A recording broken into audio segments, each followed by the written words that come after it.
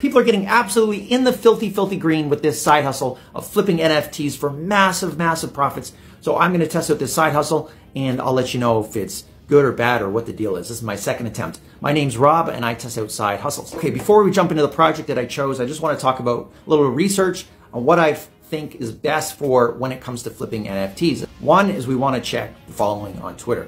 We want to see if they have a large following. I like to see over at least 20,000 followers and this particular project that I found has over 50,000 followers. But not only do I want to look at the following, but I want to look at the actual engagement because there's a lot of fake followers on Twitter. So we want to make sure that there's actually real engagement from real people. And the reason I want a lot of engagement is because I want to know that I can get a buyer if I get one of these NFTs. And the second thing I look at is I go to the actual Discord group where there's a big community that's evolved around the NFT project.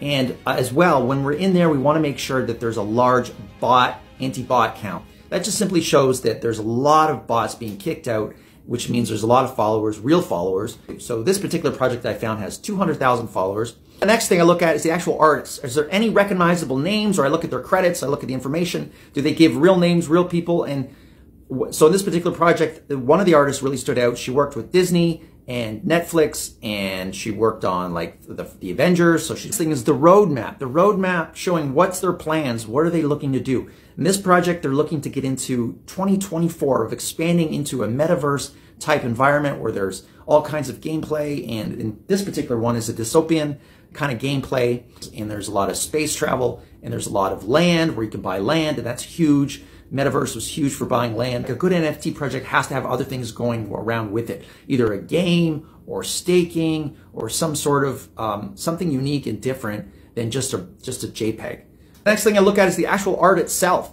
Is it a copy of maybe like a previous project where it's just very similar and it's obviously just a ripoff, or is it unique? Is there something that stands out? And in this particular artwork, it it, uh, it had like over 200 tra different traits, which is huge for an NFT. Usually they don't have so many different traits.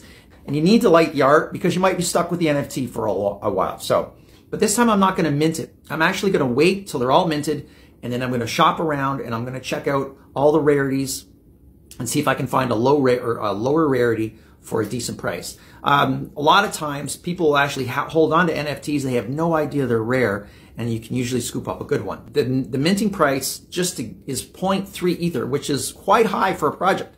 So it already has a lot of popularity around it. It might be out of my budget. Um, if it is, it's not a big deal. I'll, there's tons of other projects to move on to.